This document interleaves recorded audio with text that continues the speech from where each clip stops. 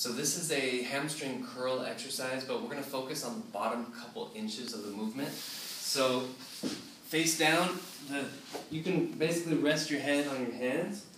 From here, you're going to really engage your glutes and your abs. That's going to protect your back and pre prevent it from hyperextending. So abs and glutes, and then you're going to lift the foot one inch off the floor, and you're holding. So I have five pound ankle weights on.